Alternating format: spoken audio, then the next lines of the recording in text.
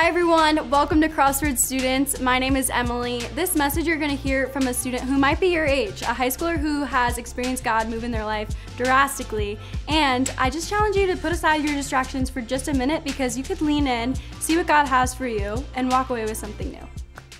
What is up, Crossroads students? I am so excited to be with you guys tonight. If we haven't met, my name is Izzie, and I am from the East Side.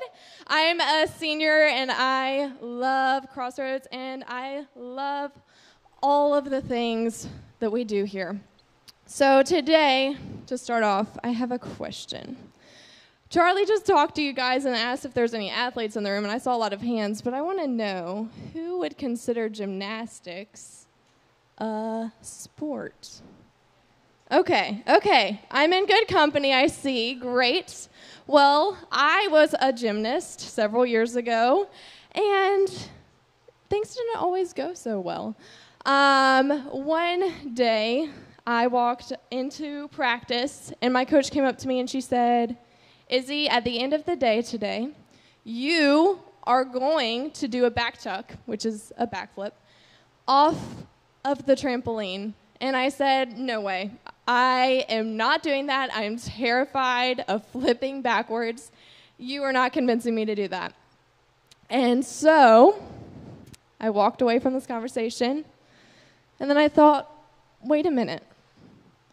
If I did this, could I become her favorite student?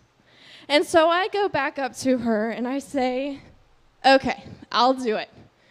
And I hopped on that trampoline and I started to bounce and then I started to flip. And you know what happened?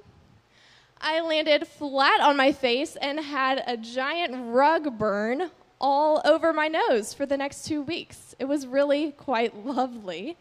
And what that taught me was that maybe my coach wasn't the most trustworthy person. She didn't catch me when I fell. And it was quite embarrassing. I had to go to school the next day and had a lot of questions about what was going on on my face. So, I say all this to say that there's a lot of people we trust in our life, and some of those people are our friends or coaches. And in fact, a lot of the times I think we trust in our friends. We have a lot of fun experiences with our friends. Last summer I went cliff jumping with my friends. Anybody ever done that? It's a little scary. I had to trust in my friends that I wasn't going to die. And maybe we just go get ice cream or go to a movie, all the fun things. And we have these fun times, but then we also have times where we're going through difficult things in our life and we have hard conversations about the thing that's going on at home or the job that we're upset that we didn't get. And those are hard conversations. And I found myself a few months ago going to my friends a lot of the time. I was angry at someone. I was disappointed that I didn't get a job that I wanted. I was sad because there was so much going on that I was overwhelmed with. And I was going to my friends and I was hoping that they could give me something, that they could give me this magical piece of advice that would fix all of my problems. And you know what happened after those conversations? I didn't have a magic fix. And most of the time, I actually came out of those conversations more angry, more sad, more overwhelmed, and even a little bit bitter because they didn't give me the thing that I wanted. So, I found out after this, I really couldn't trust in my friends because they weren't giving me what I needed. I couldn't trust my coach because she let me fall on my face and get a giant rug burn that I had to go to school with.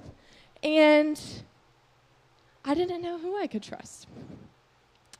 So one day, I was sitting in my room and I decided to pick up my Bible. And I read this verse it is Psalms 142, verse 5, I believe. And it says, Then I pray to you, O Lord. I say, You are my refuge. You are all I really want in life. Hear my cry, for I am very low. And I read that verse and I identified with it. I said, I am very low, actually. And I'm not getting this magic fix that I wanted. But this verse also tells me that you are my refuge. And that's talking about God, if you did not know. And so I started to think maybe I should give this a shot. Maybe if I took all of these problems that I was experiencing in life, the hard conversations that I was having, and I told God about them, maybe, just maybe, He would show up for me.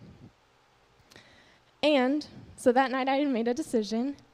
I sat down in my room and I opened up my prayer journal and I started to write.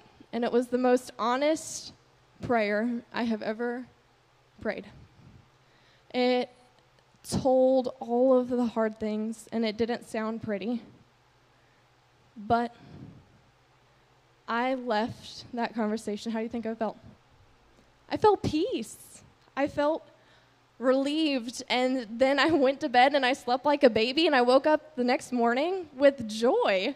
I went and hung out with my friends, and instead of feeling like I needed to have a hard conversation, I felt like I could just let loose and have fun with them. And I want to read another voice verse to you guys. It's Psalms 55 22. And it says, Cast your burden on the Lord, for he will sustain you.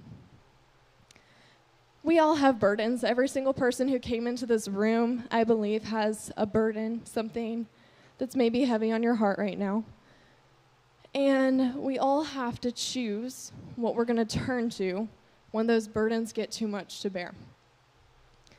I think a lot of us in this room, maybe like me, turn to a friend and try to get the advice that we want. Or maybe it's a boyfriend or a girlfriend. Maybe it's a substance that you turn to because you just need to get out of that headspace. Or maybe you just start to fold in on yourself because there's nowhere else you can go. And I want to say, I understand and I feel you and I've been there. And when I was there, the only thing that helped me out was to talk to God and to be honest with Him. So, I think that these fixes can work. They can work for a little bit.